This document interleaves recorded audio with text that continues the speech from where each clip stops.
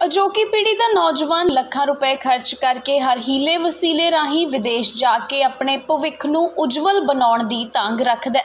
ਜ਼ਿੰਦਗੀ ਨੂੰ ਵਧੀਆ ਤਰੀਕੇ ਨਾਲ ਜੀਣ ਲਈ ਅਜੋਕਾ ਨੌਜਵਾਨ ਵਿਦੇਸ਼ ਵਿੱਚ ਜਾ ਕਮਾਈਆਂ ਕਰਦਾ ਹੈ।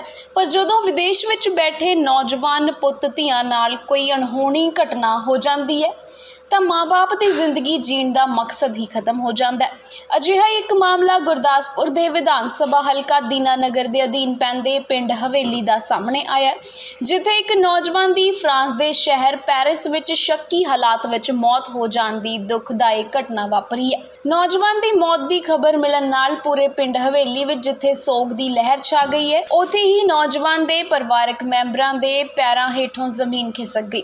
ਪਰਿਵਾਰ ਦਾ ਰੋ ਰੋ ਕੇ ਬੁਰਾ ਹਾਲ ਹੋਇਆ ਪਿਆ ਹੈ। ਮ੍ਰਿਤਕ ਦੀ ਪਹਿਚਾਣ ਰਾਜਿੰਦਰ ਸਿੰਘ ਰਿੰਪੀ ਵਜੋਂ ਹੋਈ ਹੈ। ਮ੍ਰਿਤਕ ਪਿਛਲੇ 20-21 ਸਾਲਾਂ ਤੋਂ ਫਰਾਂਸ ਦੇ ਸ਼ਹਿਰ ਪੈਰਿਸ ਵਿੱਚ ਰਹਿ ਰਿਹਾ ਸੀ ਅਤੇ ਉਸਨੇ ਦਸੰਬਰ ਦੇ ਮਹੀਨੇ ਹੀ ਭਾਰਤ ਆਪਣੇ ਘਰ ਵਾਪਸ ਆਉਣਾ ਸੀ। ਇਸ ਘਟਨਾ ਦੇ ਸੰਬੰਧ ਵਿੱਚ ਜਾਣਕਾਰੀ ਦਿੰਦੇ ਹੋਏ ਮ੍ਰਿਤਕ ਨੌਜਵਾਨ ਦੇ ਭਰਾ ਸੋਨੂ ਨੇ ਦੱਸਿਆ ਕਿ ਉਸ ਦਾ ਭਰਾ ਪਿਛਲੇ ਕਰੀਬ 20-21 ਸਾਲਾਂ ਤੋਂ ਫਰਾਂਸ ਦੇ ਸ਼ਹਿਰ ਪੈਰਿਸ ਵਿੱਚ ਰਹਿ ਰਿਹਾ ਸੀ। ਉਸ ਦੀ ਅਚਾਨਕ ਮੌਤ ਦੀ ਖਬਰ ਸੁਣਦੇ ਹੀ ਪੂਰੇ ਪਰਿਵਾਰ ਵਿੱਚ ਮਾਤਮ ਛਾ ਗਿਆ। ਉਸਨੇ ਦੱਸਿਆ ਕਿ ਰਜਿੰਦਰ ਦੇ ਇੱਕ ਦੋਸਤ ਦਾ ਫੋਨ ਉਸਦੇ ਜੱਦੀ ਪਿੰਡ ਹਵੇਲੀ ਵਿੱਚ ਆਇਆ ਜਿਸਨੇ ਦੱਸਿਆ ਕਿ ਉਹਨਾਂ ਦੇ ਬੇਟੇ ਦੀ ਸ਼ੱਕੀ ਹਾਲਤ ਵਿੱਚ ਮੌਤ ਹੋ ਗਈ ਹੈ। ਮੇਰਾ 2001 ਚ ਗਏ ਸੀ ਉਹ।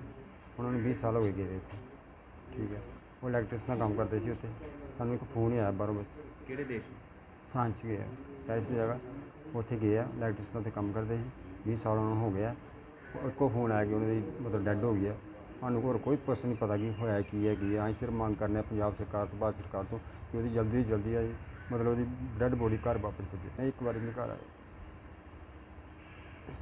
ਕੀ ਗੱਲ ਵਾਪਰੀ ਹੈ? ਕੁਛ ਨਹੀਂ ਕੁਛ ਨਹੀਂ ਹੋਰ ਫੋਨ ਪਾਇਆ ਹੀ ਫੋਨ ਆਇਆ ਕਿ ਡੈੱਡ ਹੋ ਗਏ ਬਸ।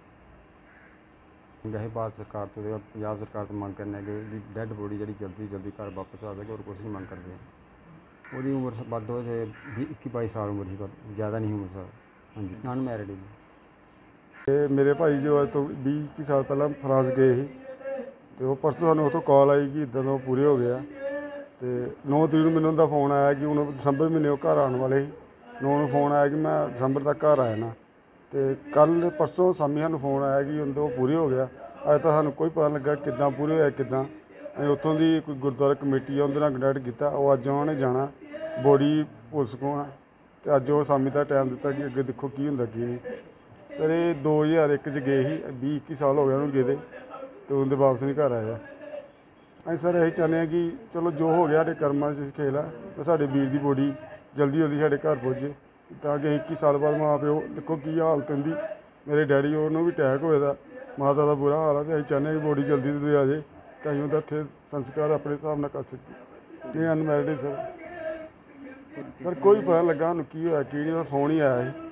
ਅੱਜ ਤੱਕ ਕੋਈ ਨਹੀਂ ਪਤਾ ਕਿੱਦਾਂ ਪੂਰੇ ਹੋਇਆ, ਕੀ ਹੋਇਆ, ਕੀ ਕੁਛ ਪਤਾ ਨਹੀਂ ਫਰਾਂਸ ਸ਼ਹਿਰ 'ਚ ਹੀ ਉਹ ਤੇ ਬਿਜਲੀ ਦਾ ਕੰਮ ਕਰਦੇ ਰਹੇ ਸਰ ਤੇ ਆ ਰੈਗੂਲਰ ਸਾਡੇ ਨਾਲ ਗੱਲਬਾਤ ਹੁੰਦੀ ਰਹੀ 15 ਵੀਹ ਦਿਨ ਕੁਛ ਕੋਈ ਨੌ 15 ਤਰੀਕ ਤੋਂ ਬਾਅਦ ਸਾਡੇ ਨਾਲ ਕੋਈ ਗੱਲ ਨਹੀਂ ਹੋਈ, ਫੋਨ ਕੀਤਾ।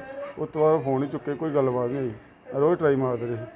ਸਾਡਾ ਕੋਈ ਕੰਟੈਕਟ ਨਹੀਂ ਆਉਂਦਾ ਮ੍ਰਿਤਕ ਰਜਿੰਦਰ ਦੇ ਪਰਿਵਾਰਕ ਮੈਂਬਰਾਂ ਨੇ ਪੰਜਾਬ ਸਰਕਾਰ ਅਤੇ ਕੇਂਦਰ ਸਰਕਾਰ ਤੋਂ ਮੰਗ ਕੀਤੀ ਹੈ ਕਿ ਉਸ ਦੇ ਬੇਟੇ ਦੀ ਮ੍ਰਿਤਕ ਦੇਹ ਨੂੰ ਛੇਤੀ ਤੋਂ ਛੇਤੀ ਭਾਰਤ ਲਿਆਇਆ ਜਾਵੇ ਤਾਂ ਕਿ ਉਹ ਆਪਣੇ ਪੁੱਤ ਨੂੰ ਆਖਰੀ ਵਾਰ ਵੇਖ ਕੇ ਅੰਤਿਮ ਸੰਸਕਾਰ ਕਰ ਸਕਣ। ਮ੍ਰਿਤਕ ਦੇ ਬਜ਼ੁਰਗ ਮਾਂ-ਬਾਪ ਦਾ ਰੋ ਰੋ ਕੇ ਬੁਰਾ ਹਾਲ ਹੈ। ਮ੍ਰਿਤਕ ਦਾ ਪਰਿਵਾਰ ਦੇਸ਼ ਦੇ ਪ੍ਰਧਾਨ ਮੰਤਰੀ ਅਤੇ ਪੰਜਾਬ ਦੇ ਮੁੱਖ ਮੰਤਰੀ ਤੋਂ ਗੁਹਾਰ ਲਗਾ ਰਿਹਾ ਹੈ ਕਿ ਸਾਡੇ ਬੇਟੇ ਦੀ ਲਾਸ਼ ਨੂੰ ਘਰ ਲਿਆਉਣ ਵਿੱਚ ਉਹਨਾਂ ਦੀ ਮਦਦ ਕਰਨ। ਗੁਰਦਾਸਪੁਰ ਤੋਂ ਪੀਬੀਸੀ ਨਿਊਜ਼ ਲਈ ਸ਼ਿਵਾ ਨਈਅਰ ਦੀ ਰਿਪੋਰਟ।